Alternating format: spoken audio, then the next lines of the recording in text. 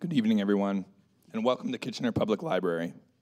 My name is Nathan Stretch, and I'm the Division Manager of Community Development for Kitchener Public Library. I'd like to begin tonight's event with a territorial acknowledgement. As we gather, we are reminded that Kitchener Public Library and all of its locations are settled on land that is the traditional home of the neutral people, Anishinaabe and Haudenosaunee. We acknowledge that this land is part of the Haldimand Tract, an area that includes six miles on either side of the Grand River and that was promised to the Haudenosaunee Six Nations and other Aboriginal allies in 1784. We recognize and deeply appreciate Indigenous peoples' historical and ongoing connection to the land. We are thankful for and enriched by the contributions all Indigenous peoples have made and continue to make in shaping and strengthening this community. As people who live and work in Kitchener, we aim to renew our accountability to those Indigenous nations and all Indigenous peoples and communities living in Canada and around the world today. We are grateful for the opportunity to meet here and reaffirm our collective commitment to truth and reconciliation now and for future generations. It is my pleasure to now welcome Mary Chevreau, Kitchener Public Library's CEO, to the stage to speak about our One Book, One Community program.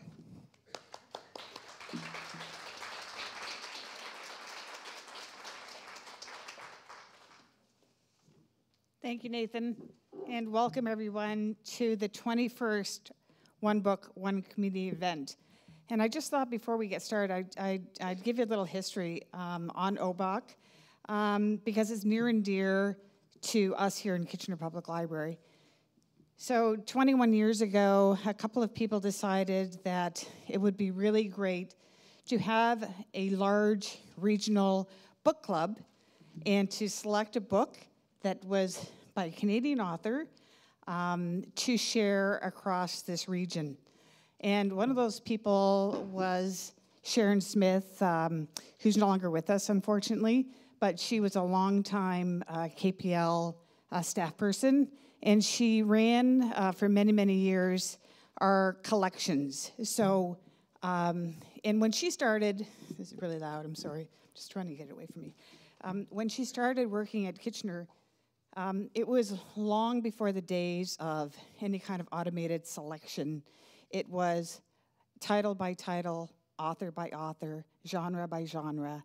And she be, developed a reputation of being an amazing uh, collection librarian to the point where she was, um, I think, recognized across certainly this industry, the library industry, but also across Canada and further as being able to create and um, I think um, really curate a collection that put Kitchener Public Library on the map many, many years before any of this was even possible.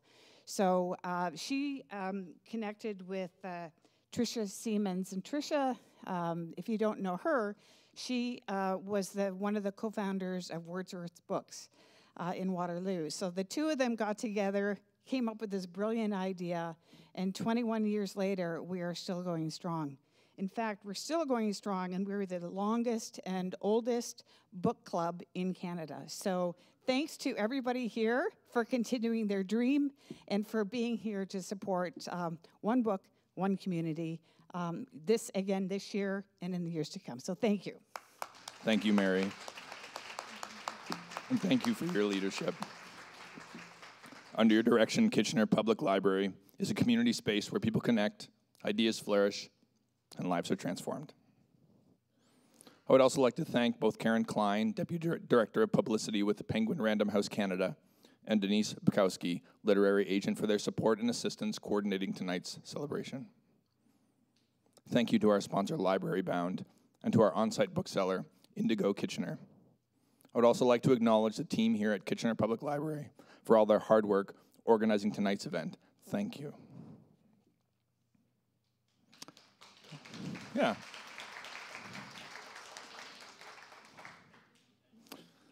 This evening's conversation with Eden Robinson will be led by Dr. Savage Bear.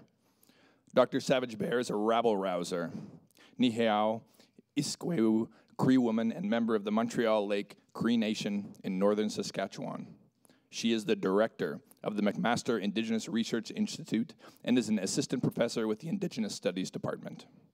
She is also the incoming National Director of Walls to Bridges, an education program bringing post secondary education to incarcerated and formerly incarcerated folks. Before joining McMaster, Bear worked at the University of Alberta, where she was the director of the Indigenous Women and Youth Resilience Project and academic lead behind the University of Alberta's online course, Indigenous Canada, a 12 lesson, massive open online course from the Faculty of Native Studies with over half a million learners worldwide. Tansi, welcome to Dr. Savage Bear.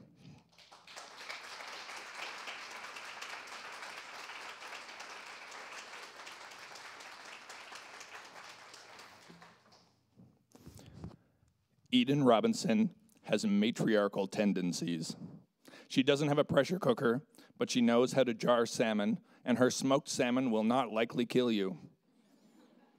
Her hobbies include shopping for the apocalypse, using vocabulary as a weapon, nominating cousins for council while they are out of town, chair yoga, looking up possible diseases and syndromes on the interwebs, perfecting gluten free bannock, and playing mahjong. Be warned, she writes novels and tends to be cranky when interrupted. Robinson is a critically acclaimed best selling novelist and short fiction writer from the Haisla and Heiltsuk First Nations. Her 2017 novel and our one book, one community selection, Son of a Trickster, was shortlisted for the Giller Prize, a finalist for the BC Book Prize, a Canada Reads finalist, and adapted into a TV series. Son of a Trickster is the first novel in Robinson's Trickster trilogy, featuring a beloved protagonist, Jared, as he grapples with the magic of his inheritance and the complications of his broken family. We are grateful to share Son of a Trickster with our community and grateful for your time. Youts, Yow. Welcome Eden Robinson to the stage.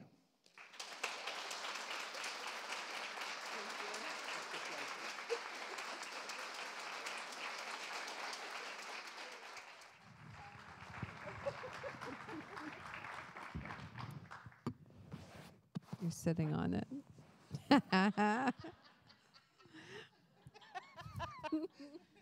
Am I on? Can you hear me? Wow, I'm. Tansi, uh, welcome. Um, I'm so glad to be here tonight. I'm so glad that all of you could make it tonight. Here it's a sold out show, and there's still more people watching live. So, Nice. uh, this is the poll that you have uh, for us, Eden. So, I just wanted to uh, say hi um, and also thank our host. It's uh, so lovely to be here, lovely to be hosting you, lovely to see you again and be in this beautiful area. I want to open it up to have uh, Eden have an opportunity to introduce herself in her own way. You know, we all have bios that we send in, and some I like yours. It's really funny. I thought mine was good. Yours is really good. Um, so, uh, to give you an opportunity to just say hello um, and introduce yourself to the audience tonight. Hey, Youts. Yo, Estoko, Nuga Eden Robinson. Um, my mother is Winnie Hunt. She is Eagle Clan from Waglisla, BC. Her mother is uh, Alice Annie Hunt. Her mother is Lena Stewart, and her mother is Esther Starr. Uh, my dad is Beaver Clan from Tzmotza, known as Kitimat Village. Uh, his mom is Laura Robinson. Her mom was Flora Morrison, and her mom was Louisa Morrison. So Keep going. uh, we're matrilineal. Uh, both my sides of the family are matrilineal. Technically, we're not matriarchal because we because the chiefs were mostly male. Uh, we had chiefly women, so the chiefs were called the Hemas, and the chiefly women were called the Muji. Um, but and they were all hereditary positions. We had like this huge hierarchy, so you know, um, we had like the, at the apex, we had the Jasi, the chief of chiefs, then we had the chiefs, then we had the sub chiefs, then we had the high ladies, the nobles, the commoners. Uh, so I have a traditional feast name, uh, Wiwulftalach, which is, it straddles the boundary between commoner and noble. So, um, so think Fergie, not Diana.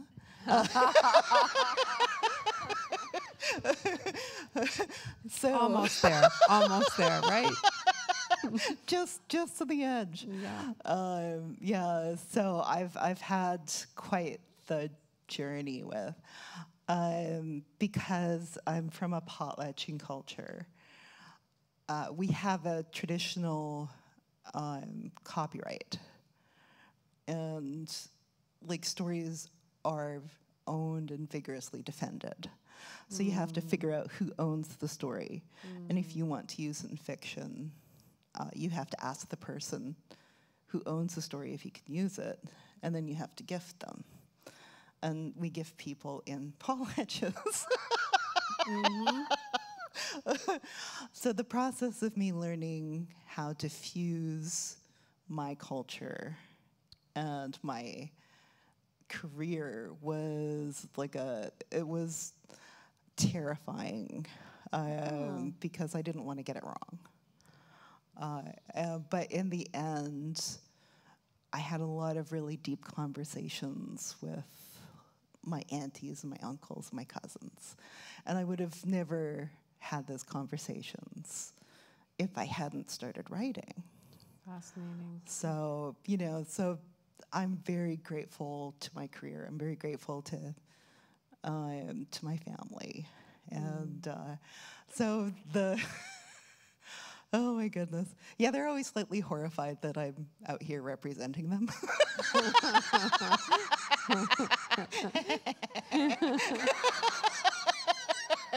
Hi's la, hi's la. It's like auntie gone bad. Uh, I when I was in my twenties, I was like a super uh, goth girl, and I did one of my first American readings. I think it was I think it was in Portland. Um, it might have been in Bellingham, but it was in the Elliott Bay Book Company, and there was there was a story in the collection where a cousin uh, was a budding serial killer Oh. and he'd fixated on his younger cousin, and it was a slightly creepy, horrifying story. So I thought, well, you know, I, I need to lighten this up for a reading, so I'll use puppets. Logical. so there's this tickle torture scene, Say that again for the people in the back. a tickle torture scene You got that? Okay. Setting the stage. done with puppets. I would pay to see that. the complete stunned expressions. Uh, there were no questions afterward. and everyone left the you know the reading space without looking at me.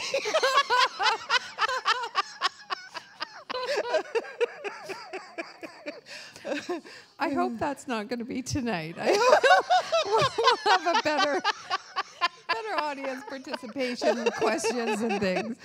But yeah, yeah, I, I won't do that. No, You're no, no puppets. groundbreaker. That is groundbreaking.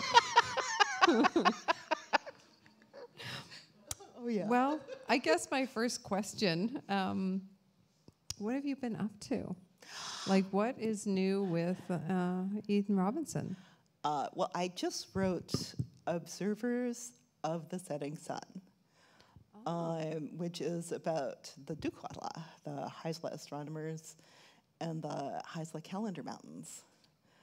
So it's it's a little booklet. It's like 20 pages, and uh, so I pulled together like uh, like my dad Nusat me Uh, he brought me out to the different locations and told me the stories until I remembered them. Uh, that was pretty long because uh, I remember things very badly unless I write them down.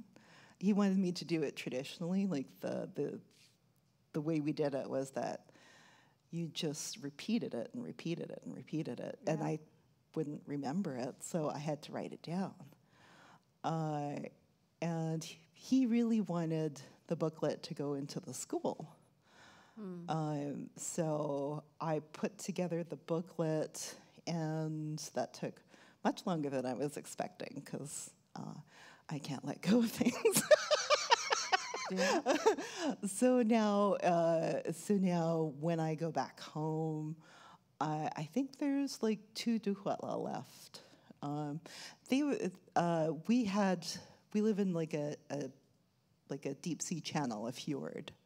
So the village is on the east side of the channel, and the Calendar Mountains were on the west side of the channel. Mm. So the Dukwala, like each clan had their own astronomer, and there was a one-ton granite rock on the beach, and it had a, a sun face carved onto it.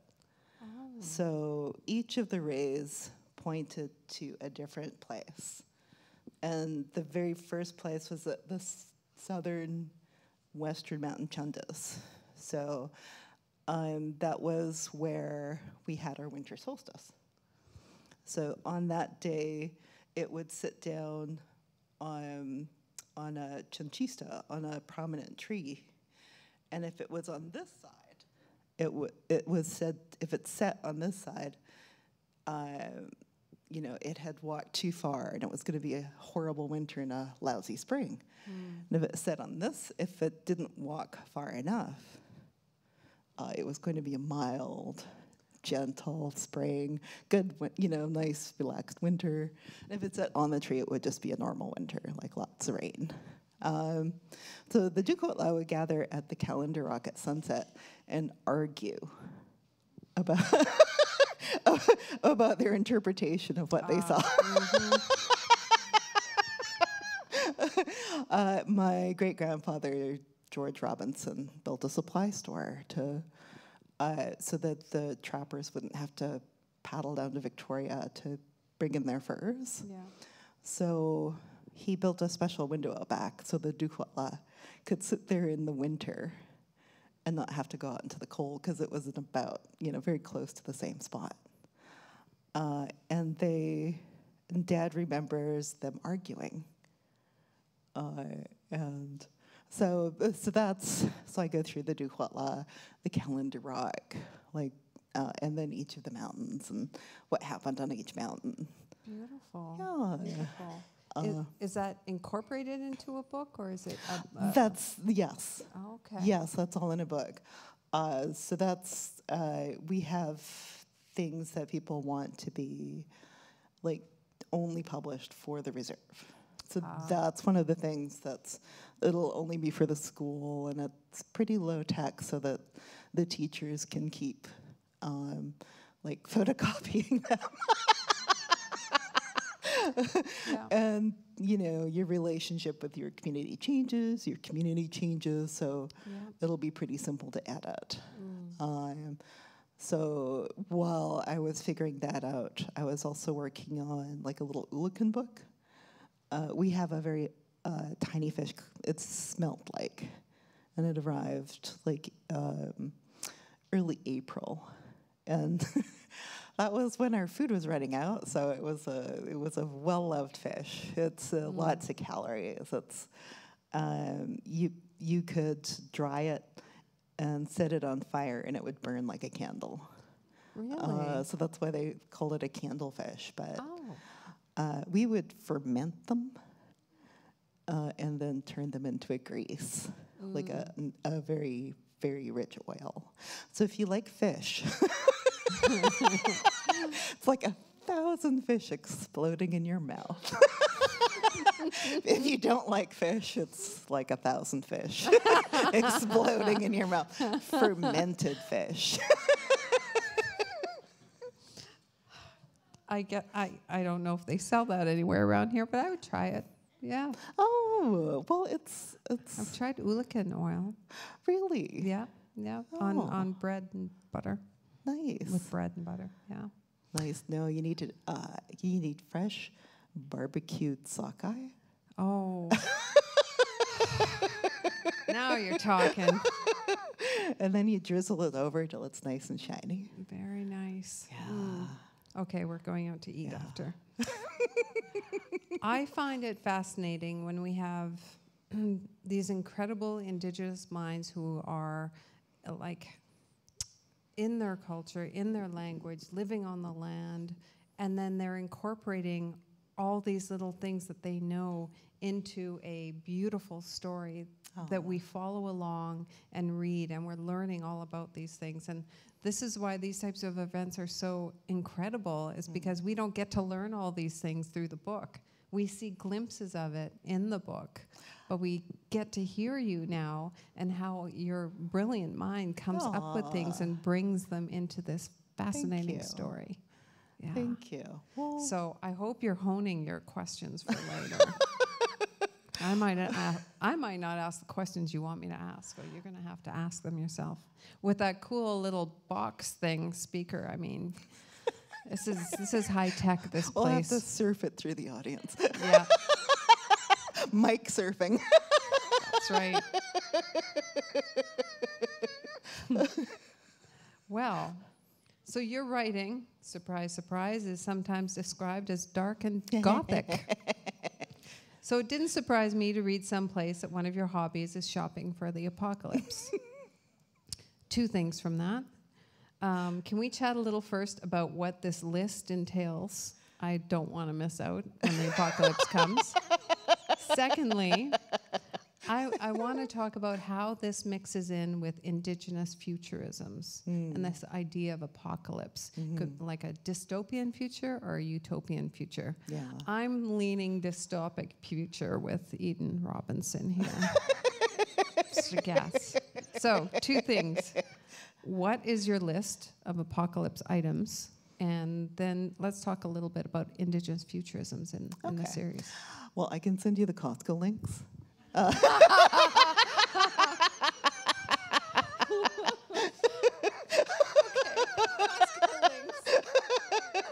Okay, well, you know, the very basics are your paper products. I feel like, you know, it used to be like a very niche thing. And then COVID happened and everyone else started hoarding for the apocalypse. I was like, hey, that's my tissue paper.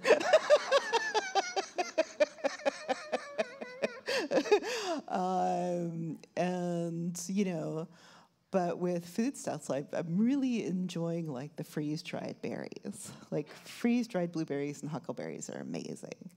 Like if you like put them over ice cream, it's just a like a, it's better than sprinkles. Like so, uh, so Costco.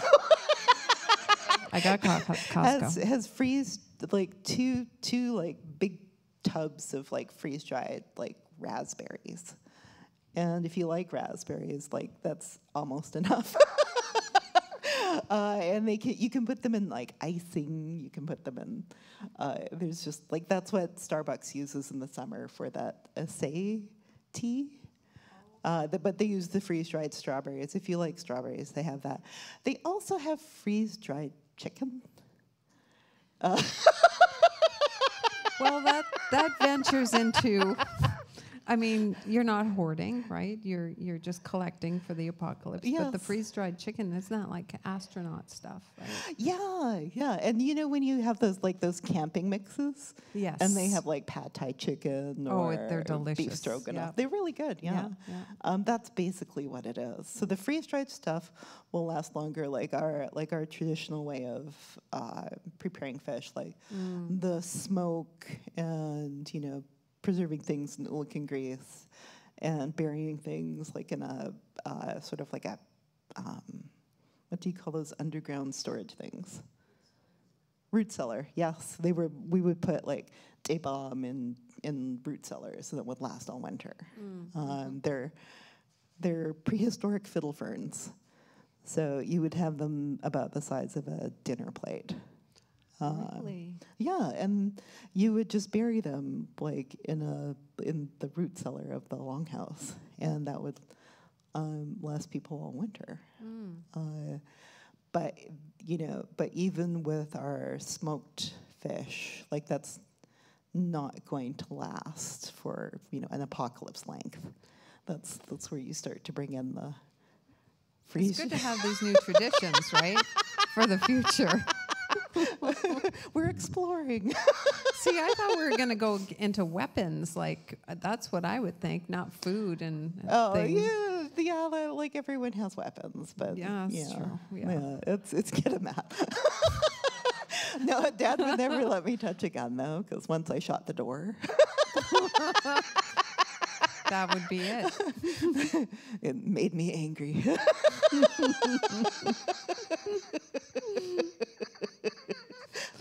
yeah, and then he saw me like trip walking across the living room. He was like, "No weapons for you." You're banned, so to speak. yeah, I don't think that would be my job, like in a in any apop- apocalyptic situation. Uh, yeah, uh, No. I've heard stories. Yeah. So let's talk a little bit because um, I teach a couple of courses, and one of them is uh, Indigenous futurisms, Mhm. and I'm seeing these themes pulling out from Mhm. from from your books. Do you want to talk a little bit about? Is there anything within Indigenous futurisms that you um, pull from? You know, you have apocalyptic dark thought tendencies. Like, how is this all accumulate into the series? Um, well, again, I feel like you know everyone's crowding into my niche now. Yes, there's a lot. but you know the, the the like we started seeing signs of the Anthropocene as early as the seventies. Like it, it has been an apocalyptic time, Mm. and adapting to the you know the new reality has been uh, very stressful. Uh, like we had like an uh, indigenous crabapple called Chihua, and we had like this huge gypsy moth like invasion. And I remember the tree in front of my parents' house, um, like it was cocooned in like gypsy moth webs, and they would come down on little strings, and and you know, no matter how much you burnt them or cut them out, or you know, none of the sprays worked. We went from organic all the way to you know, possibly cancerous. and nothing, no, and it was every single tree in the Kitimat Valley. Wow. So there are kids growing up that have never tasted jihua. So one of the aunties was trying to figure out how we could go and get cuttings because you know it's it's it's in different parts of northern BC, so we could go down and get cuttings. But she's you know COVID, it's it's so there are just things that keep happening. Like we didn't have an Oolichan run for eleven years. Yeah, we um, we learned about the power of uh, marriage links. well, all the you know, we went up to the Nass, we went to the Skeena, we went everywhere because uh, because none of the Oolichan runs in our territory were running. Like there were no Oolichans. Um, like one of the coho runs that came through, like they get this they get this virus that forms little like pockets in their flesh, where the flesh is like a little round liquid, um, and it's not it won't it won't kill you to eat it, but the texture is just it's awful and uh, it's always been there. But there was one coho run where nine out of every ten of the coho had it, whereas before it would be like one in a hundred. So you just had to keep throwing the coho aside because you you know it, you couldn't eat it. Uh, so that was a really scary year. Mm. Yeah. So, I, I think in Indigenous futurisms, uh, you know, some of the things I've read about it is Indigenous futurisms and the apocalypse, it's already been happening to Mhm, Indigenous yes. peoples. So when we talk about Indigenous futurism, it's, it's this new way of seeing things. Mhm. Like from a moment in time, you can stop uh, any novel, any novelist, talented novelist, can stop that in time, wherever it is on that timeline, stop Yeah. it, and then look at a new future or look at a different future for Indigenous peoples. And I'm trying to connect this back with your Trickster series. Mhm. Where, Well- where do you see that fitting in? Uh, right now, um, there's a lot of disconnection. Um, so after events like this, uh, there's usually like at least one person who comes up to me afterwards and says, you know, I was adopted out. You know, this is this is my kin. Uh, this is this is what I can find. Uh, could you, do you, you know, have time for a coffee? And then we go and talk. And I call mom or one of the aunties, depending on which family they're from. Um, and then, you know, uh, we work on trying to reconnect them. And if they don't feel comfortable going to an individual family, or if their family isn't ready to meet them yet, then they can come back to like Haisla Homecoming, uh, where it's open to people who've been adopted out. You just come into the community and Oh, wow. you know, we'll feed you and play music and you know, we have like helicopter rides. it's an important part of indigenous healing. Look at your territory. Ah! There's cotton candy. All those tradish things. Yeah. so, um, so there's there's people like my niece and nephew, like my my sister. Uh, married a Mohawk from Six Nations, so they grew up mostly with Haudenosaunee traditions and language. Um, so dad was trying to tell them like a, a Wee'git story. And they, they really liked that he was telling them a traditional story, but they didn't understand why it was funny. Mm, So, mm. so all these things were happening, and I just really wanted to try form a bridge between the world that I knew and the world that they were growing up in. Uh, and I wanted to have like issues that were, you know, relevant to my community. Like everyone that I grew up with was affected by the residential schools. Uh, I went to like a day school, uh, but I didn't want that to be the focus. So there, so they came through, so they would come through different characters. Um, so I wanted it to be like a, a gentle but realistic introduction to the crazy world of tricksters. Because the tricksters, um, you know, there's there's also the way a potlatch community is organized. Um, so I learned a lot of our protocol around stories from writing Monkey Beach. Uh-huh. And so I felt more comfortable playing and having fun because I knew that um, Wee'git inhabits a trickster space. So he's the bad example. He- they are. They are. uh, he, you know, uh, on the West Coast, I don't know how it is out here, but on the West Coast, tricksters run the spectrum between benevolent and malevolent. And Wee'git is like right down the center. Like some of them are like very giving to their communities and, you know, they're uh, very gentle tricksters. And some of them are super mean. uh, Wee'git is uh, he's just a little lazy, Lazy, little lazy, little thoughtless. He likes to make he likes to take shortcuts. selfish, Selfish. gluttonous. Yeah. So he's learning. Yeah. He's learning, and but more importantly, the the you know the target audience would would know like one of the supernatural characters um, from the story uh, and and from the community because when I grew up, we still told our stories uh, after dinner, like when everyone would smoke. Yeah. and have coffee and eat pie, and you just sat around, and it went on for hours. And these were really good storytellers, so they were. It would quickly would become competitive, and they try to one up each other, and the whole night would just be filled with laughter. Um, so I wanted it to have, I wanted the Trickster series to have that kind of wild energy.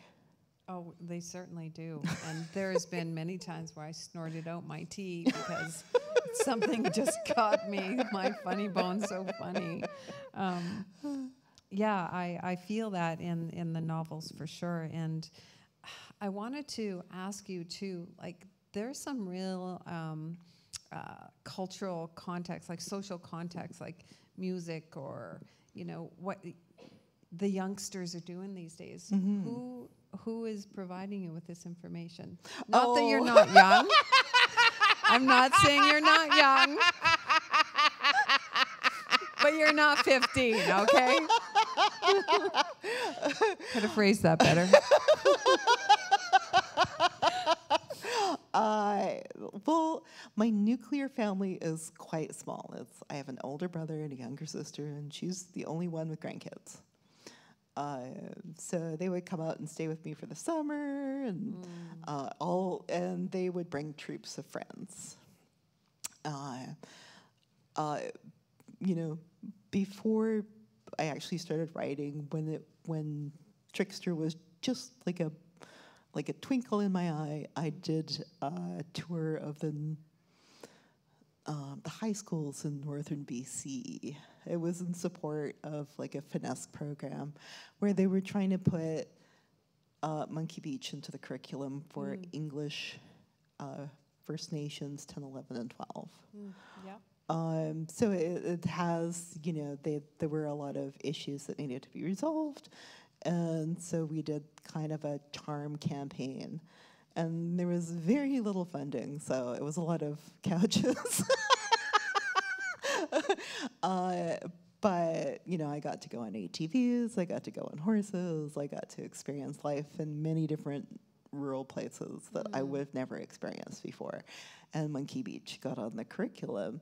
So I got asked to tour through northern BC a lot. So sometimes I would have like workshops with 30 kids. And it's really hard to do a traditional workshop when you have so many people. Yeah. So we would break into groups, and um, you know, they would each group would create a character, and then we would all come together at the end and send the characters on an adventure. And they were amazing. Like that was I got so many stories, so many details. Love it. Love it. so you know, there there are like a lot of Jareds out there. There's Mm. there's a lot of really good kids uh, in really hard circumstances, Mm-hmm. and yeah, yeah. I just really wanted to have that kind of you know. Um, you know, sometimes when you have a hard life, you don't get to have a story. That's true. Yeah, we, true. yeah. I, I think um, just the fact that these uh, novels are out there, these characters are Mhm. out there, it's something, you know, I would have loved to have read as a teenager. Oh, thank you. You know, I would have loved to have seen myself somewhere. yeah. Um, not that I was like Jared, not nearly as cool. Um, but just to see myself in novels and see myself in the curriculum in, in schools. And so having Monkey Beach even in the curriculum is just amazing. Yeah, well, the, what's amazing now, like with the like, there's been such an explosion of Indigenous authors. Uh, I remember like the handful of us, like touring around in the like you know late '80s, early '90s. So like, you know, now, uh, yeah. But I remember like the the very first like Indigenous writing conference. I was invited to be on a humor panel. Oh, okay. Uh, and there was, I didn't ask who was on the panel. I just thought, oh, that sounds like a hoot. Uh, one of them was an ex from my 20s, No, you should always ask. and the other one was an ex from my 30s.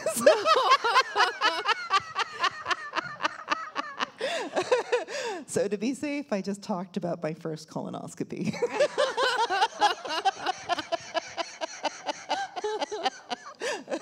uh, the anesthesiologist was new to Kitimat.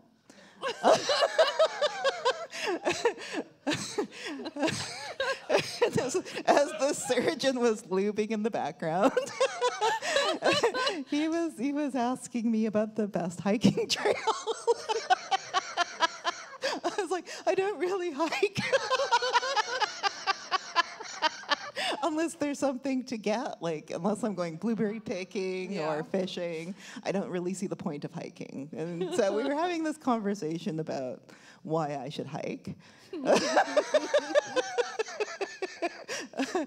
yes, the question and answer period on, on that panel was awkward.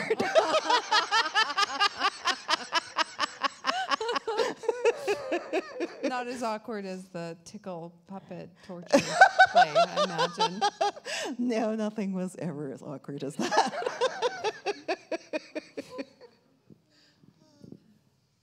Um, you talked about matrilineal line, and so how does your cultural understanding of matrilineality um, inform your trickster series? Well, uh, Jared is definitely uh, from a very complex genealogy. uh, and, you know, we have a, a different concept of our nuclear family. So my sister's children are my children. Uh, and, you know, so people who are my cousins but are much older, I'll still call uncle or auntie. Um, and you could have like many, many grandparents. um, so my hardcore fan base is 500 cousins. uh, they're, you know, and they will tell me what they like and don't like. And um, in the beginning, I relied on them. Uh, you know, we were we were having conversations about protocol, um, and about which stories belonged to who, and who I could ask. Um, and they were very, uh, very helpful. Uh, and yeah, it, it, it was it was super. Um, you know, it was it was something that no one has understood until now. Like way back in the '90s when I was writing Monkey Beach, um, I kept getting asked why I was self-censoring, and it wasn't about self-censoring. It was it was about respect, and it was about agency. Like who gets to tell this story? Um, and if it, if that story doesn't belong to me, what gives me the right to tell it? Um, and you know, we have we have a division in the Haisla community. There's the Hanaksila, and then there's the Haisla, and we're all Haisla, but the Hanaksila amalgamated with the Haisla in 1948. So there's, you know, there's there's some tension there. Uh, so for Monkey Beach, I felt it was really important to include Hanaksila land and traditions, uh, and you know some of the the stories and the conversations that I had with the elders um, taught me so much about my place in my community and things that I took for granted. Um, and now that there are more conversations about uh, who gets to tell what stories, like it's it's you know they're they're conversations that I'm very privileged to have been able to have. Yeah. Awesome. Um, so these, it, the writing, thinking about the writing process and how, um, you know, writers, you know, they go and do their research and they do, you know, tons of research and they sit down to write. The advantage or even disadvantage, depending on how you look at it time-wise, is there is protocol involved with Mhm, your yes. writing. You can't Yeah. just go off with a typewriter or I get a laptop. People use typewriter. We're not in the 80s. Um, where you go off and you just write and write what you want to write and send it into your editor. I mean, there's You- you can there's still do that. You could still do that. You can still do that. You're just going to get sugar in your gas tank.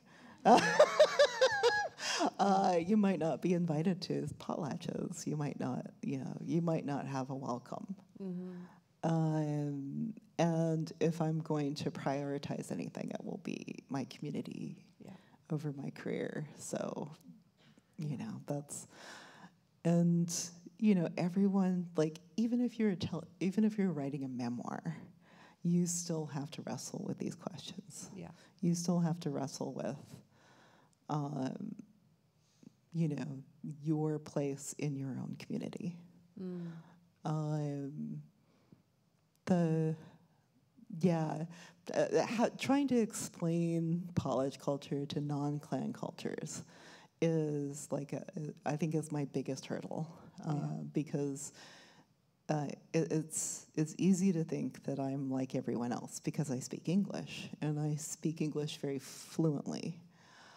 Um, but I, I come from potlatchers. We don't, you know, I, I understand intellectually what a capitalist system is, but I don't get it in my gut.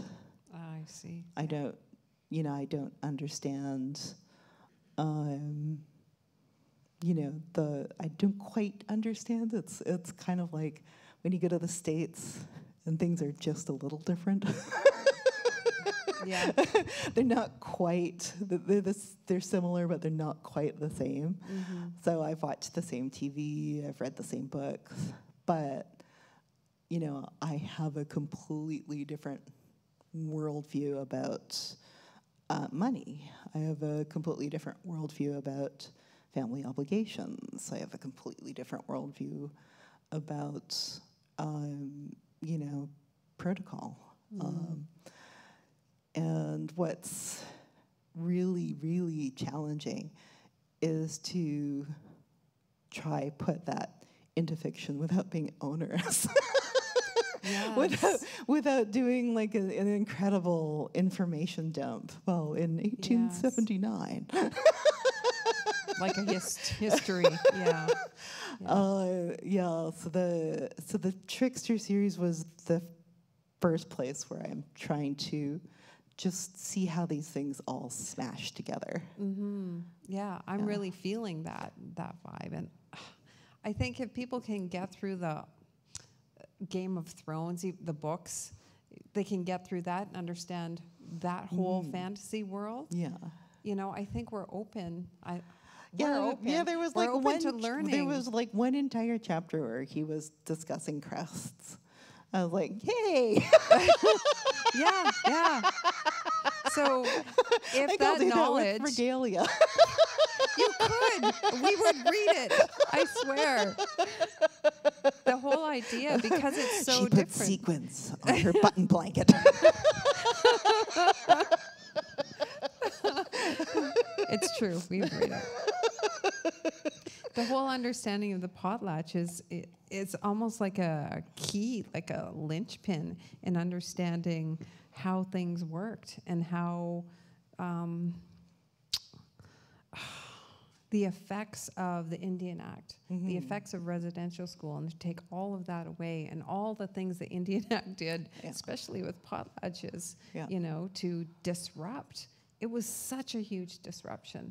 And so to learn about that, I think, as someone who's Cree and doesn't potlatch, I think it would be fascinating to see that in like almost like a historical fiction Yeah. and how you're adding things in. yeah, and the way potlatching went underground like bootlegging. Totally. Uh, yeah, because they didn't stop it. The Indian Act banned it, but they didn't stop it. Oh, BC's big. you get potlatch here, you get potlatch there. That's right. That's right. Yeah. yeah, uh, yeah. So Dad said like we would go to church on Sunday and then go. Oh, we're all gonna go fishing now. We're going fishing. Everyone, get your fishing gear. The Indian agent would write you a pass, and off you'd go. Yeah, it's hmm. time to harvest. That's right. You know us natives.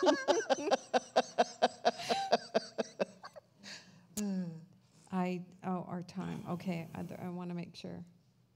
What? I mean. okay. Yes. oh, the, I have, the lights are doing something dramatic. Do you remember? Do you remember our lightning round? I, I'm going to be all Brene Brown on Eden Okay. Robinson here. Um, so these are quick questions. right? Okay. Okay. I'm going to pull all of these quick questions. Okay. Accountability is Important. what is something most people often get wrong about you?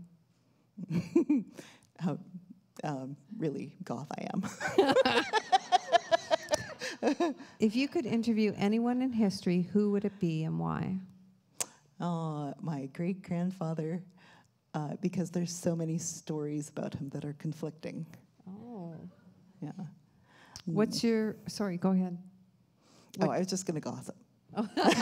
We like the gossip. We like it. Let's do it. Does it have to do do with? Oh, my great grandfather. He was he was from England. Uh, he, he was either like in medical school, uh, and his family drank and gambled the money away, so he came to BC to make quick money, mm. or he his family had a famous candy factory, and I like that story. that made toffee. Was his name Willie? Because I think I've he heard was- that and story. he was booted out for being, you know, I don't know. The- there- there are very many variations on that part. So you'd wanna go interview then- him? Yeah, Yeah. I was like, okay, seriously. What's really happened? Okay, two more quick ones. What's on your nightstand right now? uh, the economic disintegration of the Haisla What? fishing, fishing and logging. The light rating. the thesis by uh,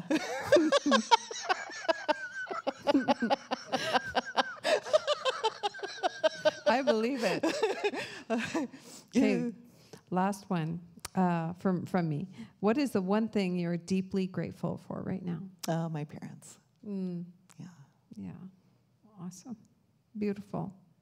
All right. Well, those are my questions. Apparently, I get you get to ask some questions now. I want to see how you guys toss the microphone. I do too. If you have a frozen shoulder, you don't have to participate. Those are quite painful. All right, so we will open it up to the audience. You see uh, back there is the special box. Ah, It should glow. it really should. Oh no, no audio, no questions. We're too weird.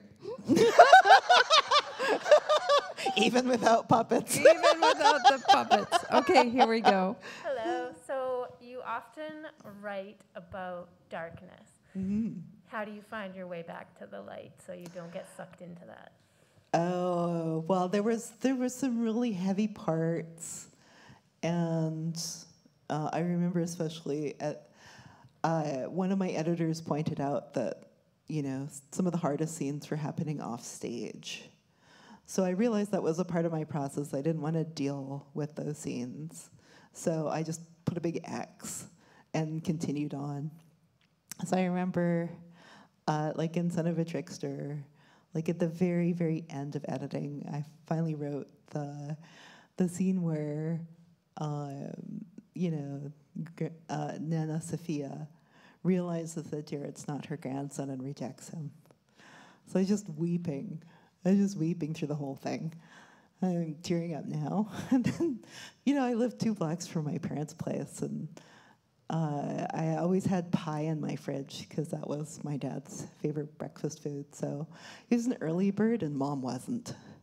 Uh, so he would come over and start the coffee and have pie. So I was crying uh, over my computer, and he's like, "Oh my God, who died?" And then I was like, "It was Nana, Sophia, just she." Uh, and then Jared, not her grandson. And he's like, "Oh my God." You don't have to do this to yourself. The band council's always hiring receptionists.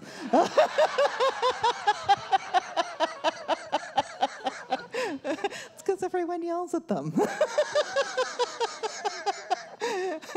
it was like, yeah, no. So it's uh, usually, uh, you know, when you have a book hangover, when a book really affects you, uh, sometimes writing really hard scenes does the same thing to me. So, you know, I, I go to my safe people. Like I'll talk to my sister or certain cousins or even mom. Uh, if I go to mom, um, she'll teach me dirty Celtic words until I laugh. uh, so you know, so I have a good circle. Um, I think if you if you're writing, like right now, and you're writing really tough scenes, and you don't have anyone to go to, you just draw a big face on a piece of paper and stick it on the wall, and you just imagine I'm there with you.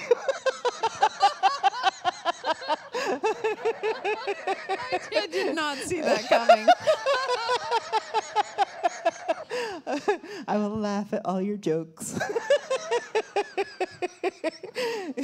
if you make arms, you can have me hug you. Nothing creepy though. No, because that's not creepy at all. Eden Robinson is on my wall. yeah, that's why the Haisla and Celtic don't like me representing them. I was writing, um, I was attempting uh, like the trashy band council romance. but it requires like multiple points of views, and I haven't really quite got that nailed down yet. Uh, so I put it aside to write a trickster story. but when I was telling, well, I went to read at uh, the library in Bella Bella, and Marilyn Slett is their chief counselor. So afterwards, she came up and went, "Don't sit in, the, in Bella Bella, okay?" She didn't want it in the computer. I was like, "Well, okay." Uh, yeah. Well, my metric for how connected you are to a community is like um, how, you know, if you know people who who's feuding with who and why. So, like in Kitimat, you know, I know the backstory on their grandparents' feuds, but in Bella Bella, I just, you know, I know the basic family feuds. So, yeah. it would be really hard for me to write a band council novel there because, you know, there's historical, like, trashy band council romances. You should go to Treaty Six. I mean,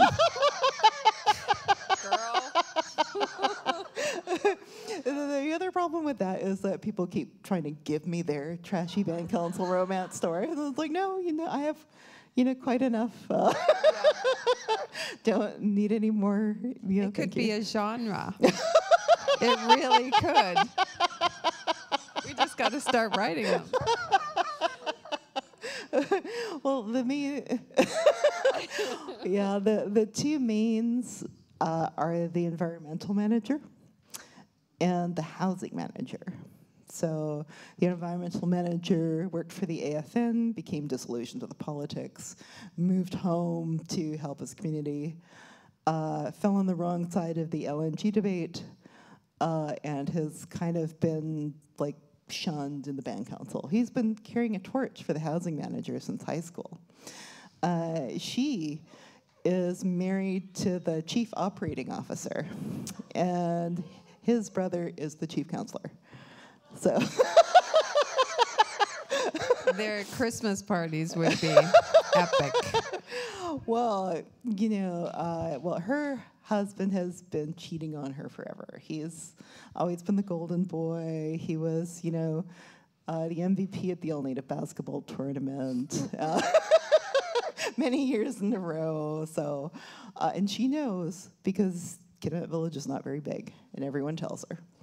Uh, so she loves him more than he loves her.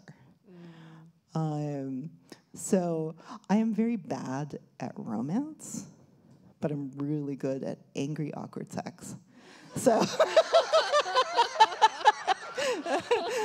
so I thought I'll just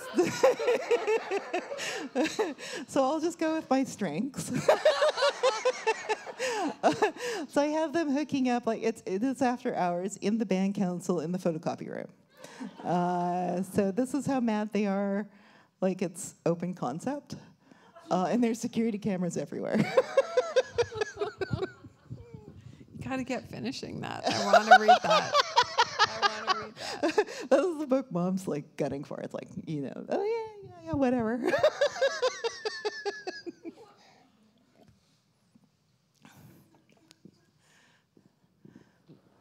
Hi there.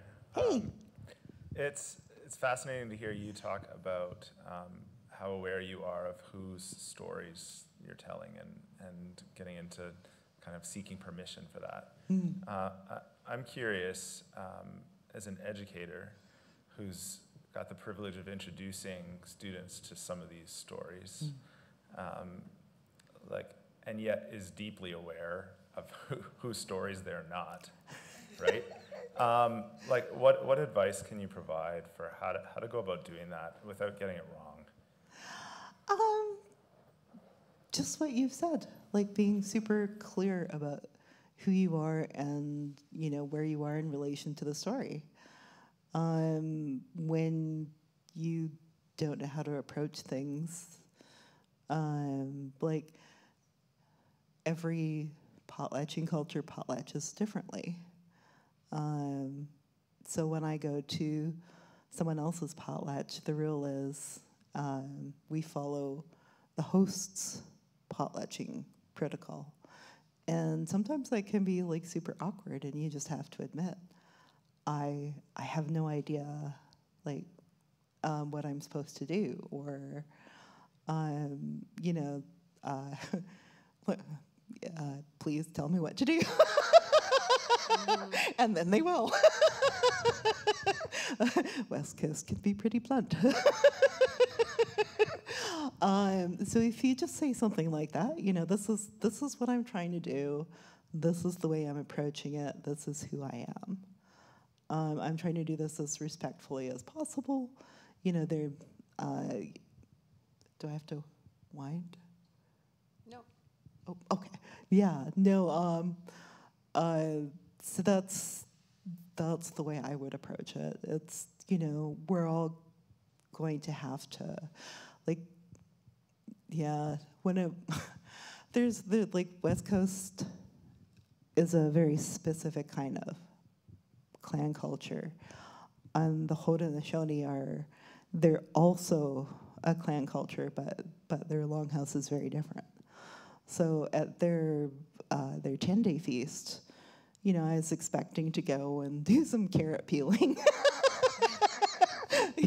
you know, just help get things ready. Instead, uh, uh, the men served. And that was quite a shock. I held a basket, and the men put food into the basket. And I was just, you know, it was a completely different experience. And they were very gracious about my moving in their cultural space. Um, you know, I just was very clear um, that I knew nothing. I, it was it was super weird, and then uh, I taught at IAIA, the Institute of American and Indian Arts, and The Dene also have a clan culture, but holy crap, their introductions are even more complex than the West Coast. Like it, like it goes like your your mom's clan, your mom and dad's clan, your dad's clan, your like a, you go back. Um, so introducing myself properly there was uh, just you know challenged all my genealogy skills. you know, we just have a simple matrilineal. you just follow the moms all the way back. yeah, I was like, Dad, okay. Uh. so it's, yeah. I hope that helped. Yeah.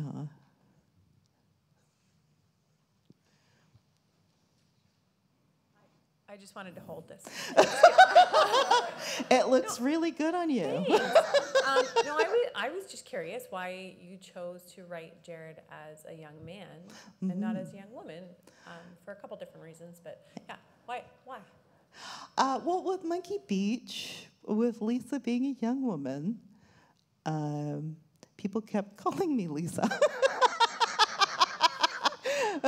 and I would get handed cards for grief counselors. Uh, people would ask, like, you know, um, have they found your brother yet? so there was a little over identification going on.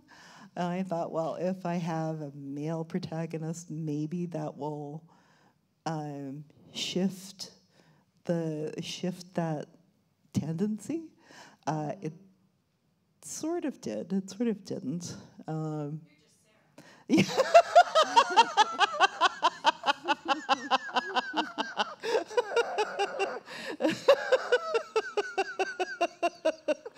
uh, yeah, no. So it was. It was.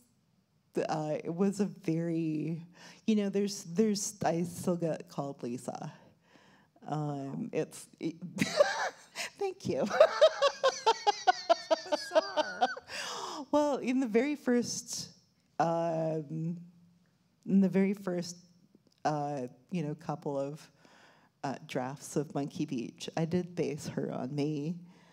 So she stayed in her room a lot and wrote really angsty poetry. Wasn't a very compelling novel.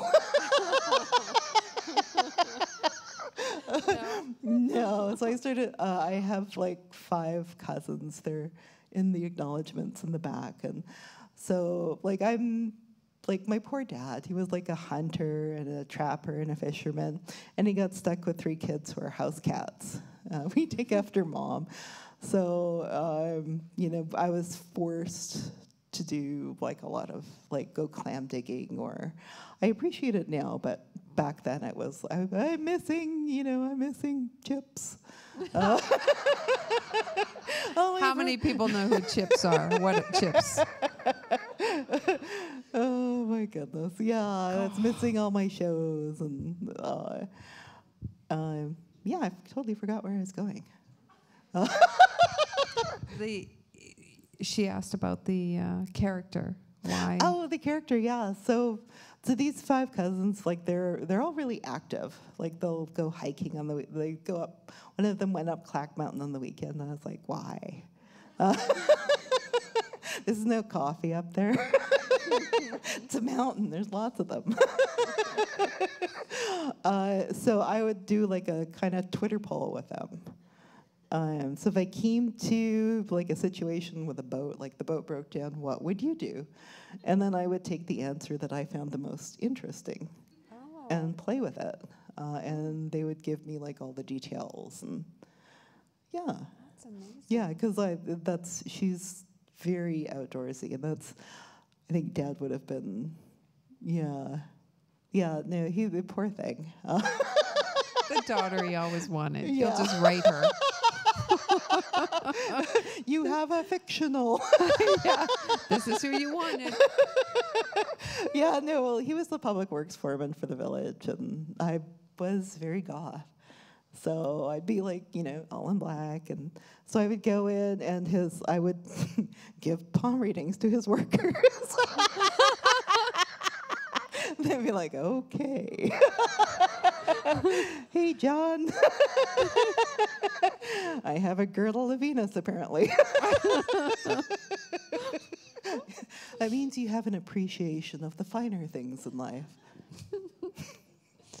We have time for one more question. Or I can sing. and I haven't seen the box thrown yet. Tossed, tossed.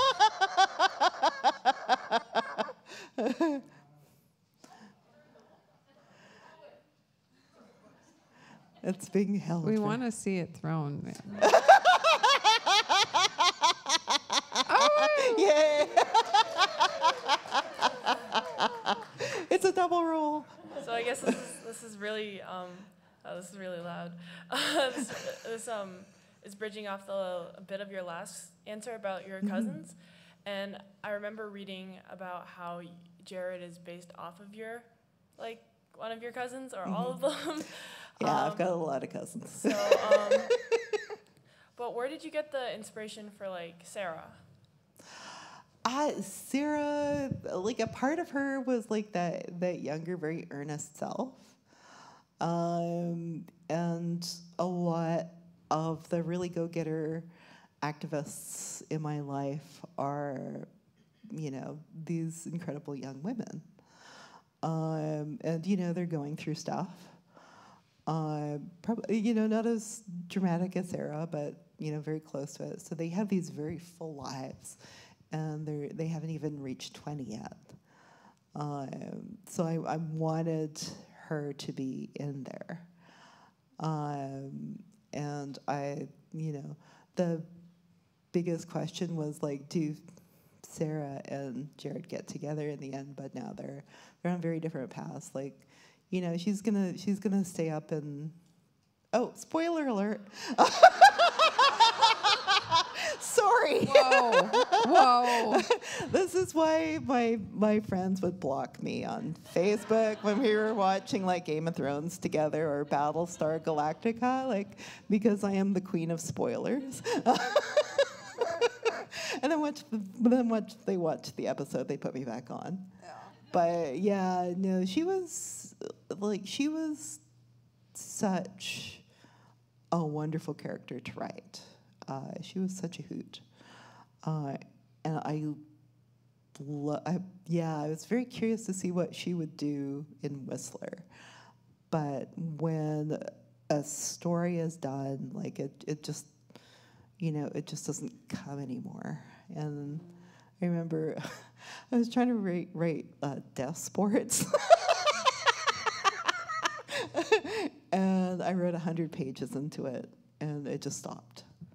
Like it just wouldn't move anymore. Um, so there was a character called Uncle Mick in Monkey Beach, and I had to pull out 70 pages of his story because it was didn't it wasn't putting the narrative forward like the the pacing of Monkey Beach was leisurely um, already. So I took out like a 40 page like story about Tab and a 70 page story about Mick.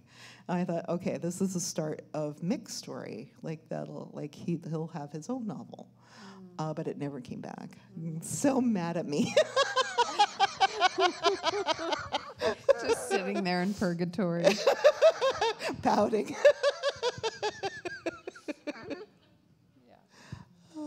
Well, I think that's all the time we have tonight. I uh, want to thank you for being so great. I love your laughter. I miss it. And uh, thank you to the audience, our hosts, and uh, um, I'm very grateful to have been here.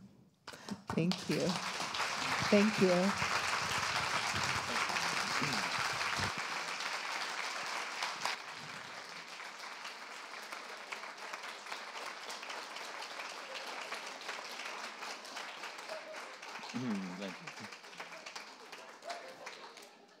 Thank, thank I'm not sure I was prepared for how funny that was going to be.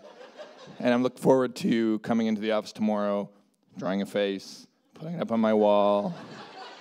And I'm going to ask it all the questions I still have about puppets.